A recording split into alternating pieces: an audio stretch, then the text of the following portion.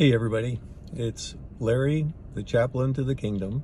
Today I'm out doing my official chaplain work. Uh, I have the uh, first time pleasure to go to a new assisted living place here in Boothbay Harbor. And I'm excited for this because I like meeting new people and I love spending time with, uh, they call them the elderly, but you know, I am one as well. so one of the beauty of, of doing what I do is not just getting to meet all these great new people and all that. It's, it's about talking about God's heart for them and how much he loves them and how much he enjoys them and especially that he's with them. And um, so I thought I'd do a little preview and uh, let you know how it goes when I come out.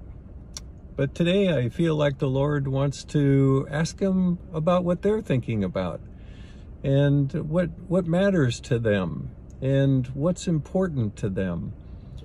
Um, you know, because what you find is they have a lot of time to think about things. And um, I'm not um, saying I have all the answers. In fact, I don't.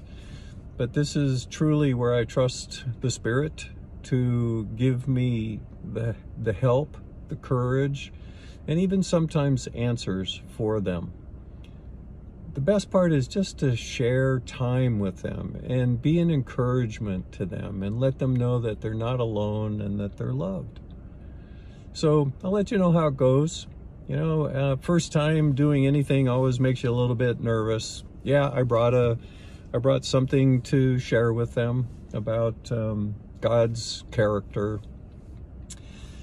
And we'll see how that goes. All right, I hope you're having a good day, and I'll see you for part two. And when I depart this location, love you all. Take care. God bless.